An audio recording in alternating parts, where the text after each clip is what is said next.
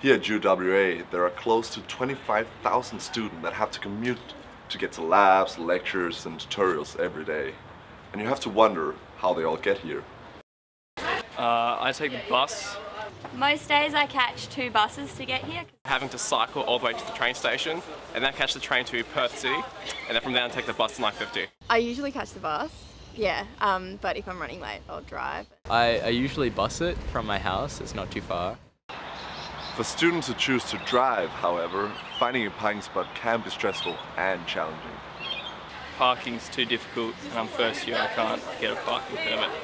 Yeah, when you do find parking, they're often quite narrow and hard to get into, so that's another issue. I, I absolutely hate driving to uni. On some days I drive my car and park on a suburb near here. Well, to be honest, I'm not very happy about the parking offer here. Like, it's really expensive, and this morning I went to like three different spots before I found a parking lot. It's been like 25 minutes. Even if I leave my house like an hour early, I'm still driving around trying to find a spot. And then I'm late for lectures, so yeah.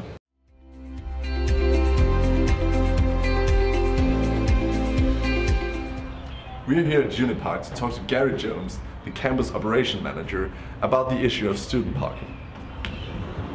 The university is responding to the high demand in, in two very important ways. Um, the first is, is looking at the, uh, or reviewing the distribution of bays across campus, both staff and students, and we've also got contractors and, and so forth. Um, this will be, be considered as part of the campus development plan that's currently being, being looked at. Those that drive may consider purchasing a parking permit, the cost of which is $175 per year. However, the permits are only available to full-time students who have completed at least 48 points of their degree. At the moment, we're currently on about 3.83 permits um, per, per bay available. Um, as most students aren't on campus full time, we, um, we, we believe the optimum ratio, so that we get the maximum use of our bays, is, is sitting at that, at that level. In an interview with Max Hipkins, mayor of the Council of Nedlands, he expressed how the lack of university parking available is creating issues for the residents in Nedlands.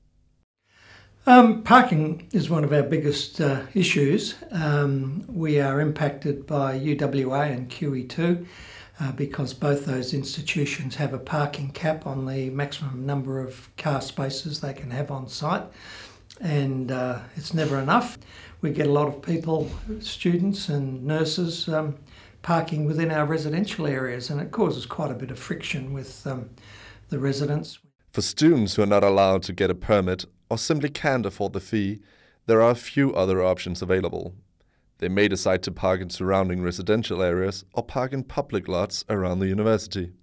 However, this can be expensive, and taking up residential street parking is an issue for residents. Is something that the university should have to face up to and, and acknowledge that they are generating a demand and, and uh, they've got the land there, they can, they can do it. Theoretically, if we built a thousand bay car park tomorrow, um, we would have a lot of happy people for a, for a short period of time, six to 12 months, but in a very short time we would fill that and the demand would still be there.